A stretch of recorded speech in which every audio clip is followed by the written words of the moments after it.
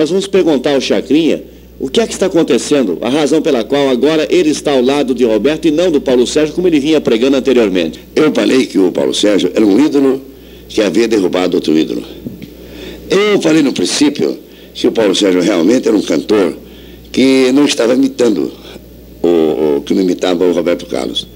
Mas uma tese que eu defendi do princípio até o fim é que o Roberto Carlos e o, esse Paulo Sérgio, os dois, começaram iguais Ora, como começaram iguais? O Roberto imitando o João Gilberto e o Paulo Sérgio imitando o Altemar Dutra. Então, mas o Paulo Sérgio, além de imitar o Altemar Dutra, ele desapareceu e voltou imitando o Roberto Carlos, não é verdade? Certo. Porque eu notei qualidades do Paulo Sérgio, mesmo imitando o Roberto Carlos, mesmo imitando o Altemar Dutra. É um, bom, um belíssimo caráter, uma belíssima pessoa, um belíssimo rapaz.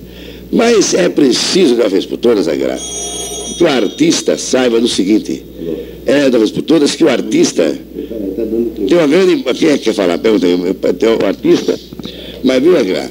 Eu quero dizer, preciso saber o seguinte, que eu não tenho absolutamente.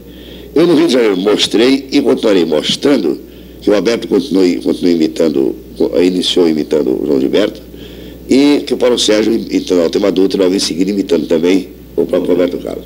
Não faço isso, quando faço isso com fito, de desmoralizar ninguém, absolutamente.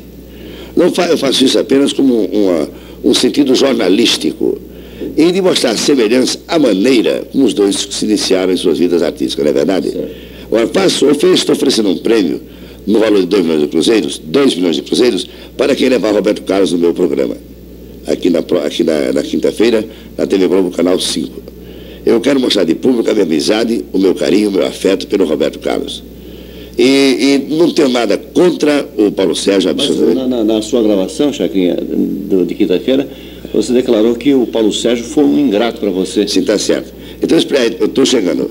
Então, depois de trazer o Paulo Sérgio aqui no Rio de Janeiro, São Paulo, de trazer o meu programa, de investir no meu programa, então acontece que o Paulo Sérgio, é preciso que todos saibam que cada artista tem o seu valor eu pago o preço que eu posso um artista. Se eu não posso pagar mais, eu não pago mais. Se eu não posso pagar menos, eu não pago menos.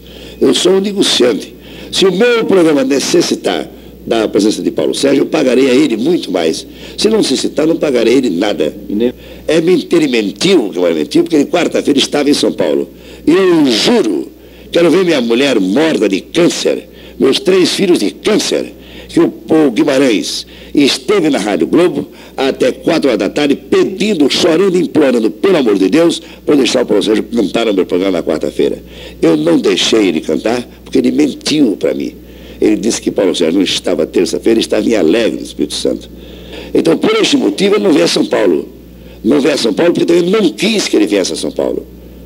Ele pediu para ele vir, não veio a São Paulo porque ele mentiu, porque disse a mim que ele ia para Alegre eu tive que tirá-lo da programação. Ou na verdade, tirei da programação. De, de repente, porque eu não sei que ia passar o filme do Paulo Sérgio na televisão, dele imitando a Tomar Dutra, ele ficou com medo e veio pedir para ir outra vez. Eu digo, então não vai mais. Acabou. Certo ou estou errado? Certo. Eu adoro o Paulo Sérgio, acho o Paulo Sérgio espetacular. Agora, irei fazer esta festa para o Roberto Carlos, porque eu quero mostrar ao Roberto Carlos, mais uma vez, que eu tive a influência predominante uma influência espetacular na vida artística do Roberto Carlos. E ele também foi ingrato comigo. Mas eu quero mostrar hoje ao Roberto Carlos, que está nesta situação, o que me fez voltar para falar do Roberto Carlos, porque eu raciocinei, eu raciocinei bastante, então achei que agora, hoje, apesar de ser rico, milionário, entendeu? E está em uma posição internacional, o Roberto Carlos precisa da minha ajuda e também da sua ajuda. E eu vou ajudar o Roberto Carlos. Quer dizer, não sou ninguém para ajudar ninguém. Mão. Vou ajudar o Roberto Carlos, vou mostrar ao Roberto Carlos que eu sou amigo dele. Eu não sou amigo dele quando ele estava no auge da carreira dele. Eu fui amigo dele quando fiz para ele a festa do Calhambeck. Eu fui amigo dele quando fiz para ele a festa do Bolinha. Eu fui amigo dele quando fiz para ele a festa do Arromba. Eu fui amigo dele quando eu levei ele para a fábrica Polidor. E nunca pedi nada ao Roberto. Nunca quis nada do Roberto. E o Roberto, no auge, no auge, no auge da carreira dele, só cantou uma vez no meu programa no Rio de Janeiro. No auge da carreira dele, o Roberto levou quatro anos sem me cumprimentar, sem me dar um cartão de boas festas, sem me dar um telefonema. Roberto Carlos hoje é homem de outras amizades, de outros interesses e de outra camada social.